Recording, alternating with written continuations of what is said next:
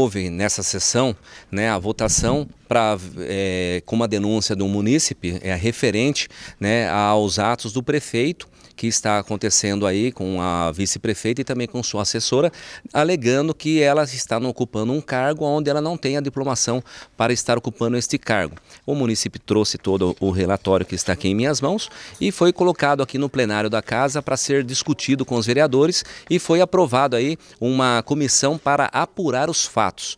Né? Após essa comissão ser aprovada, houve outro sorteio né, entre três vereadores, no qual eu fui o primeiro a ser sorteado, o vereador vereador Vitão e o vereador Silvano, e eu fui escolhido pelos dois vereadores como presidente, ficando o vereador Vitão como relator e o vereador Silvano Júnior como membro desta comissão.